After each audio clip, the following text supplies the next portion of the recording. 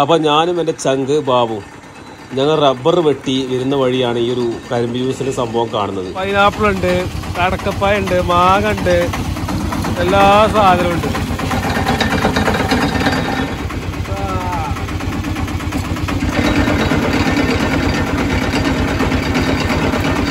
മസാല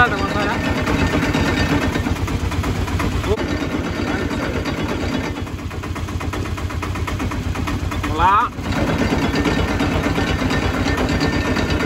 അപ്പോൾ ഇപ്പോൾ ഏകദേശം വിന്റർ സീസണാണ് അപ്പോൾ ഈ ഒരു സമയത്ത് ആരും കരിമ്പ് ജ്യൂസിന്റെ കട ഇടാറില്ല. അപ്പോൾ ഈ ഒരു പോകുന്ന വഴിയിൽ ഇദ്ദേഹം ഒരു കരിമ്പ് ജ്യൂസ് കട കണ്ടു. അപ്പോൾ പിന്നെ ഒന്ന് കയറി നോക്കാം ഒന്ന് കരുതി അങ്ങനെ കയറിയതാണ്.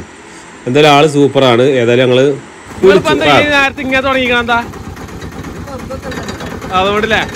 കെട്ടിന് കിട്ടുന്നേ? അപ്പോൾ ഈ ഒരു സമയത്ത് ആരും ഇതുപോലത്തെ കടകളൊന്നും മൈൻഡ് വെക്കാറില്ല. ഈ ഒരു സമയത്ത് കേട്ടോ ചൂടായി കഴിഞ്ഞാൽ ഓക്കെ. അപ്പോൾ നിങ്ങളും ഇതുപോലെ കടകളൊക്കെ ഒന്ന് കയറിയിട്ട് സഹകരിക്കുക. അപ്പോൾ എങ്ങനെയുണ്ട് ബാബു നമ്മൾ ഈ ഐറ്റംസ്?